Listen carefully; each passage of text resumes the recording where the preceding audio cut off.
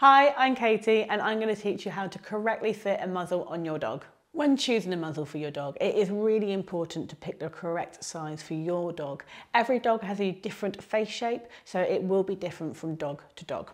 If the muzzle is too small, it can be uncomfortable. They won't be able to open their mouth and pant, drink or take a treat properly.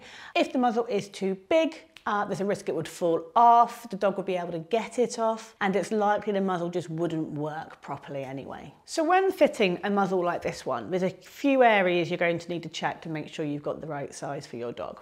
First of all, when the dog's nose is in the muzzle, you'll be looking to make sure there's about a finger's width between the muzzle and the dog's eye. This is to stop the muzzle riding into the dog's eye and causing discomfort. You'll also check that the dog's nose is about a two finger gap between the end of the muzzle and the dog's nose.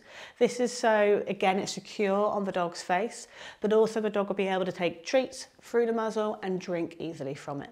The last point might change from dog to dog. You need your dog to be able to achieve a full pant while wearing the muzzle. So you'll need to have an idea of how big that is for your dog. But as a minimum, you'll look for two or three vertical fingers between the bottom of the muzzle and the dog's chin. This may mean the muzzle looks a little silly when the dog's not panting. It might look a bit big, but it's really important so when they do pant, there's no restriction, so they can pant freely.